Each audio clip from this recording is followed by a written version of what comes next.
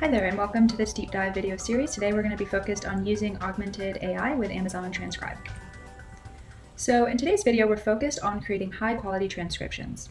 As the volume of multimedia content grows, businesses are demanding high quality transcripts of video and audio files.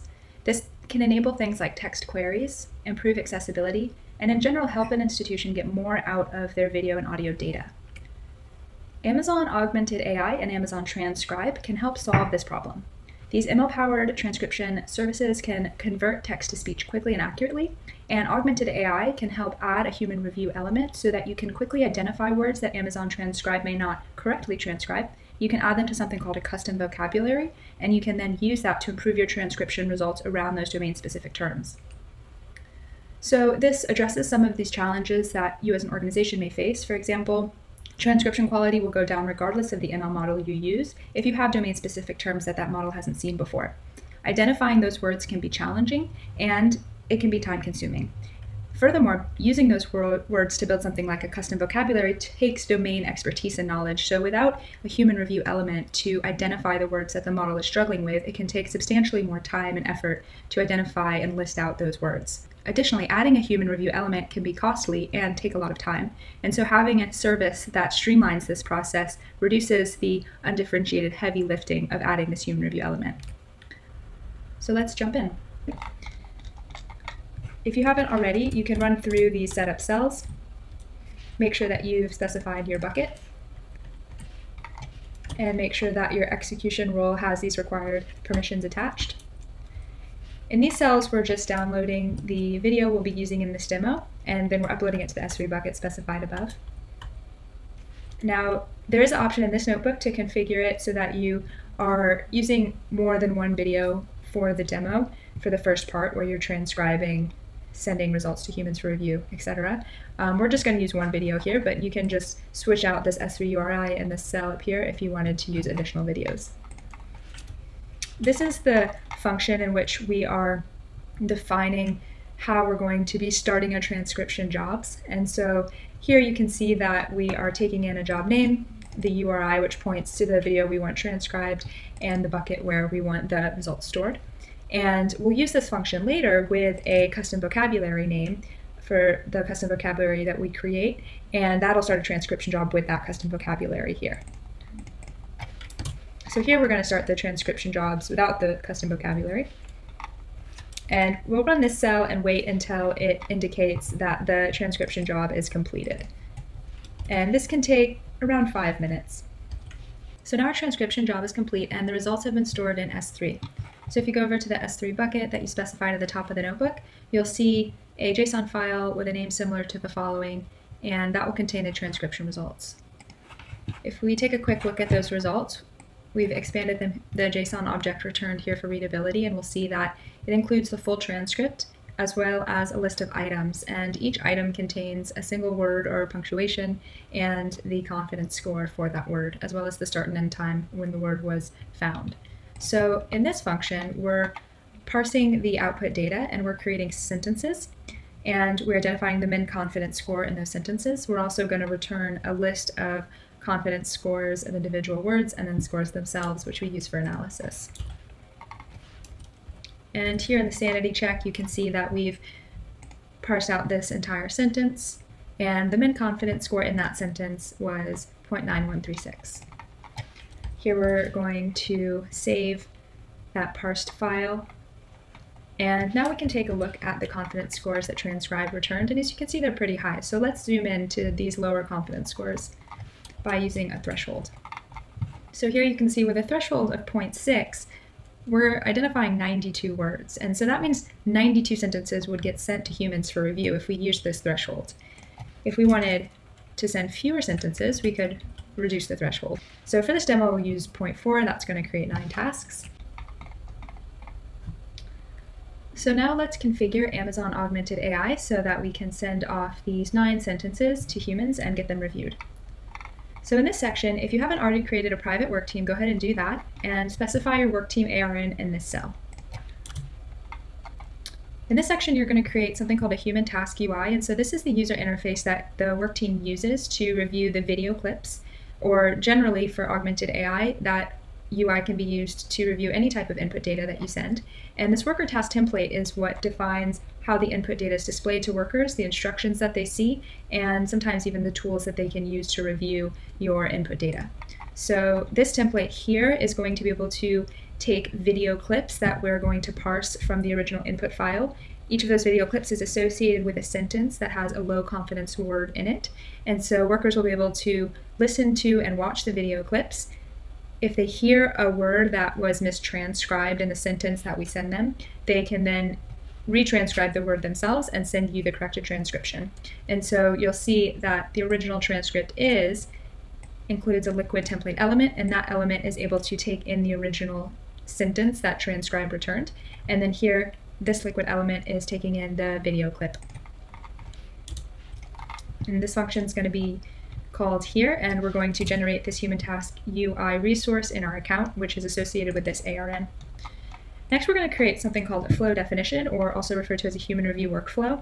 And this defines all the resources that are used for our augmented AI human loop.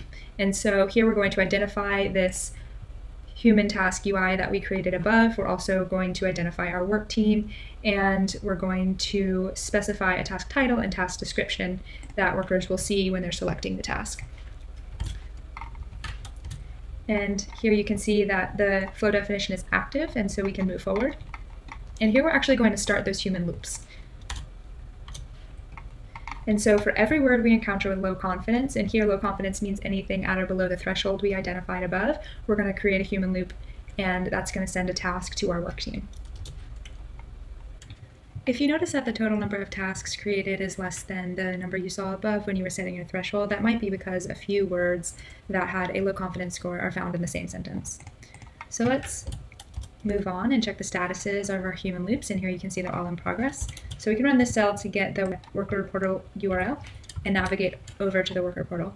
Here you'll see the human loop that was created, and you can select Start Working. So here you can see an individual transcription task, and here is the original transcription that was returned from Amazon Transcribe. And this video clip is the moment in the video when this person spoke this sentence. And so we're going to... R, or using Keras, or PyTorch, or...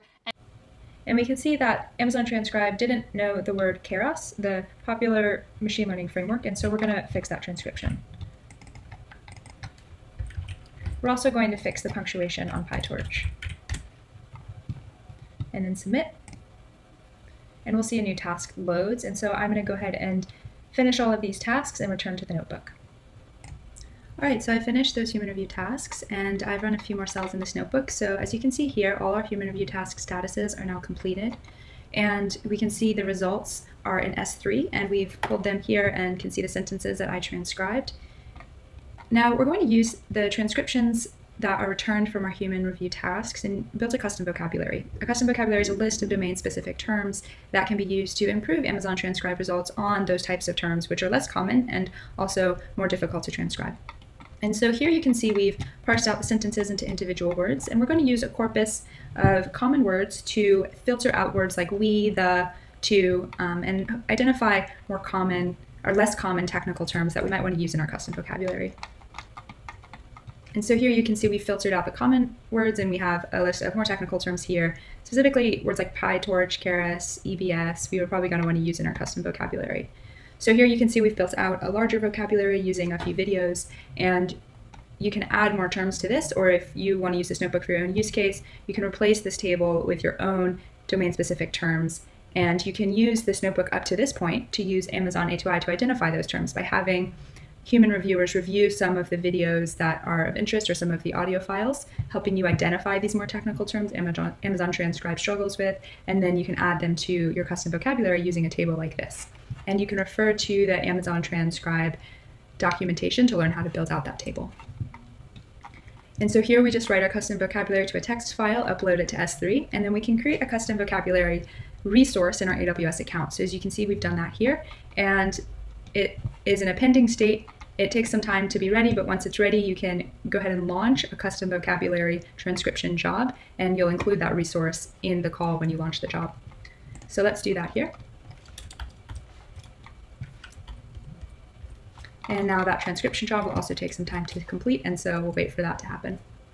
So here we can see that our second transcription job that uses the custom vocabulary has finished, and so we can take a look at the results here.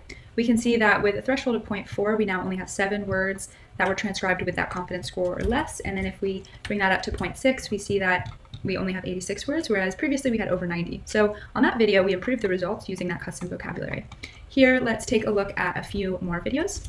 And so what we've done is we've created the ground truth for four videos so that we can analyze something called the word error rate, which is used to analyze transcription quality, and we've considered two of those videos in sample and we've used them to build out a custom vocabulary. And then we consider the other two videos out of sample. So we didn't look at their transcription, we didn't use it to build a custom vocabulary. However, they're in the same domain as the in sample videos. And so hopefully we can use our custom vocabulary built from the in sample videos to improve transcription quality in the out of sample videos. So we're going to do that in this part of the notebook and then take a look at the results.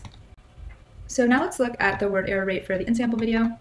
And you can see that it improved by almost 50% for the first one. So this video was sent to Amazon Transcribe without a custom vocabulary, and we had a word error rate of about 5%, and then that dropped to about 2.6% after we retranscribed the video using that custom vocabulary. For the out of sample videos, we can see that the word error rate improved by about 13% and 17.6% for the two videos respectively. And if we look more closely at the improvement of the domain specific terms, we had over 80% improvement across all the domain specific terms that we identified in the four videos. So Amazon Transcribe's custom vocabularies are a great way to improve your transcription results, especially around those domain specific terms that the algorithm may not know without the vocabulary. And you can use Amazon A2I to quickly go through a sample of your videos to identify those technical terms. And then you can use a dictionary to filter out the common words, and you can create a table like we did in this notebook to create your own custom vocabulary and improve your transcription results. So thanks so much for joining us for this demo, and please let us know what you think. We'd love to hear how you're using this walkthrough with your own videos and your own custom vocabulary and the types of results you're getting. If you need some additional resources to get started, you can find them here. Thank you so much for joining today's walkthrough, and we hope you enjoyed it.